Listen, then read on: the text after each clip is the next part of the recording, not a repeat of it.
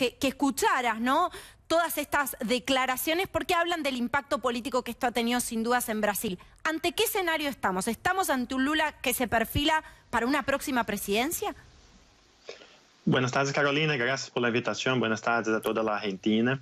Eh, bueno, primero una rectificación, ¿no? Eh, la justicia no ha declarado que Lula es inocente. No, Eh, no. Lo que la justicia ha, ha hecho es decir que eh, el, el- juez, el juez Sergio Moro né, de Curitiba no tenía eh, el derecho de juzgar a Lula en Curitiba, sino que eh, el juzgamiento debe, eh, debe pasar en, en la justicia de Brasilia, la capital de Brasil. Entonces, hay Sí, esa lo que discusión. aquí entendemos como la falta de competencia. O sea, lo que está en discusión es la anulación de las condenas porque no, no era competencia de, de ese juez.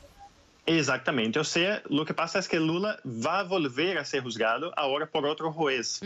Eh, então, isso, isso genera em Brasil um cenário muito complicado na política, de muita insegurança política e jurídica, não?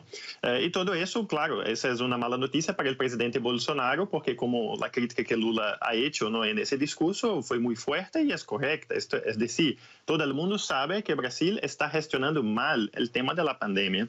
Eh, la apuesta de Bolsonaro eh, fue eh, hacer la polarización entre los gobernadores que querían eh, eh, eh, hacer el lockdown, hacer el cierre de las actividades económicas para, né, para frenar eh, eh, la velocidad de avance de la pandemia, eh, y el gobierno, gobierno federal, el presidente Bolsonaro, que quería mantener todo abierto uma, uma aposta que a pandemia seria de curto prazo, seria por pouco tempo. Uhum. Pero lo que pasa es que luego de eso vino la segunda ola en Brasil y ahora mucho más grave, como ustedes saben. Entonces, eh, en ese momento en que estamos, en un momento mucho más grave de la pandemia en Brasil, el mundo está vacunando sus ciudadanos.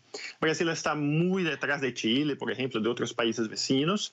Eh, y, y- y Brasil quedó en una mucha mala posición en eso y los ciudadanos están eh, percibiendo que Bolsonaro es culpable por eso.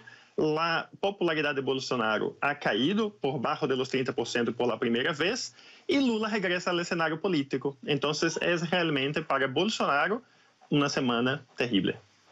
Una semana terrible y en el medio, por supuesto, la, la crisis sanitaria y la preocupación que hay sobre cómo puede seguir la situación del COVID-19 en, en Brasil. Muchísimas gracias, Felipe, por tu análisis. Buenas tardes para vos. Muchas gracias.